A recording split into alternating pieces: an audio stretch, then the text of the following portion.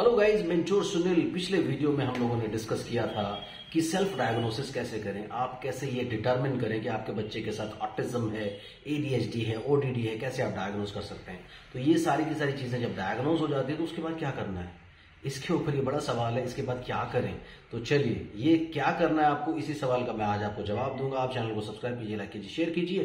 पूरी दुनिया में फैला दीजिए मुझसे कंसल्ट करने के लिए eight one six eight seven nine zero two nine nine dial कर सकते हैं। प्लस नाइन वन ज़रूर लगाएँ अगर आप इंडिया के बाहर से कॉल कर रहे हैं। Indian consultation Asian consultation two thousand rupees Asia के बाहर से कंसल्ट करना चाहते हैं five thousand rupees account transfer देकर आपको मेरा अपॉइंटमेंट इजीली मिल जाता है। तो चलिए बात करते हैं कि एक बार आपने डायग्नोज कर लिया। फटाफट से ब्रीफ कर देता हूँ, पिछले वीडियो में हम लोगों ने क्या किया था। मैंने आपको बताया था कि पहला पॉइंट आपको याद रखना है कि अगर आपका बच्चा तीन साल से छोटा है तो आप सिर्फ़ ज़ोर लगाइए डायग्नोसिस पर ध्यान मत दीजिए। किसी ने आपको माइल्ड ऑटिज्म कहा है मॉडरेट ऑटिज्म कहा है सीवियर ऑटिज्म कहा है, कुछ भी बोला है, आप ध्यान मत दीजिए, अपना काम शुरू कर दीजिए सीधा। दूसरे ओडीडी का प्रॉब्लम हो सकता है, वो ऑपोजिशनल डिफाइंड डिसऑर्डर होता है। उसमें क्या होता है कि बच्चा आपकी जो भी आप उसको करवाना चाहते हो, उसको रेजिस्ट करता है, गुस्सा करता है, चीखता है, चिल्लाता है, ये सारी प्रॉब्लम्स उसके साथ होती है। तो आप उस पर भी ध्यान दिए बगैर अपना काम एक्टिविटीज़ शुरू कर दें। और पेरेंट्स ट्रेनिंग प्लान्स लेकर के आप घर पर ही अपने बच्चे का काम शुरू करें।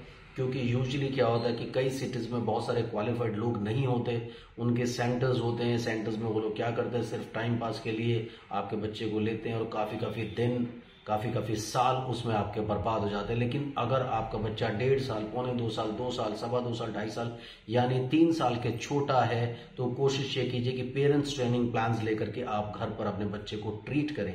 आप मुझसे कांटेक्ट कर सकते हैं पेरेंट्स ट्रेनिंग प्लान्स के लिए, क्योंकि ये एक ऐसी एज होती है। मैं हमेशा अपने काफ़ी सारे वीडियोस में आपको बता चुका हूँ कि जब आपने सेल्फ डायग्नोस कर लिया कि आपके बच्चे को सिंपल अटेंशन डेफिसिट डिसऑर्डर है या एडीएचडी का प्रॉब्लम है, क्योंकि यूजली क्या होता है कि जो भी आजकल क्या एक फ़ैशन बन गया है, जब भी आप डेढ़ साल, पौने दो साल दो साल, ढाई साल के बच्चे को लेकर के जाते हैं कि ये बोलता नहीं है। यूजुअल डायग्नोसिस जो आपको मिलने लगा है, वो यही मिलता है कि इसको माइल्ड ऑटिज्म है, इसको मॉडरेट ऑटिज्म है, इसको सीवियर ऑटिज्म है और उससे आपकी पूरी फैमिली में डिप्रेशन छा जाता है। तो डिप्रेशन में मत आइए, अपना काम शुरू कीजिए और पेरेंट्स ट्रेनिंग प्लान हमेशा बहुत इफ़ेक्टिव रहते हैं। उससे बहुत सारे बच्चे और यूट्यूब के अगर आप कमेंट सेक्शन में जाओगे तो आपको देखने को मिलेगा इस चैनल के कमेंट सेक्शन में कितने सारे लोग बेनिफिट कर रहे हैं। तो ऐसे ही आप लोग भी बेनिफिट कर सकते हैं। तो अगर बच्चा दो से तीन साल के बीच में है तो बिल्कुल फ़िक्र मत कीजिए, अगर तीन साल के ज़्यादा भी है तो आप पेरेंट्स ट्रेनिंग प्लान लेकर के अपना काम कर सकते हैं। क्योंकि ये देखने में आया, पीछे एक वीडियो भी मैंने आपको दिया था कि अगर पेरेंट्स को ट्रीटमेंट में इंक्लूड किया जाता है तो आप ये समझिए कि जो काम आप तीन साल में करोगे सेंटर में जाके तो वो काम आप एक साल में कंप्लीट कर सकते हो घर पर बैठ करके।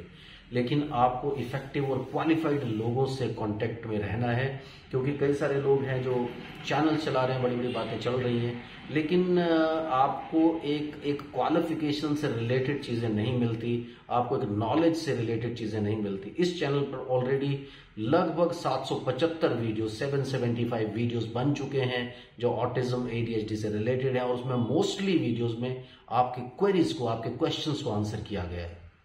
तो एक बहुत बड़ा नॉलेज पावर हाउस है ये चैनल जिसमें आप काफ़ी सारे वीडियोस देख सकते हैं, अपने बच्चे को लेकर के अपना ज्ञान बढ़ा सकते हैं और जल्दी जल्दी से पेरेंट्स ट्रेनिंग प्लान्स लेकर के अपने बच्चे को ट्रीट भी कर सकते हैं। तो अगर आपके बच्चे को डायग्नोसिस मिल गया है तो सबसे पहले तो डायग्नोसिस को रीचेक करें, क्योंकि यूजली बच्चे सिंपल एडीएचडी या अटेंशन डेफिसिट होते हैं, जिनको नाम दिया होता है कि उनको ऑटिज्म है या दूसरी प्रॉब्लम्स हैं।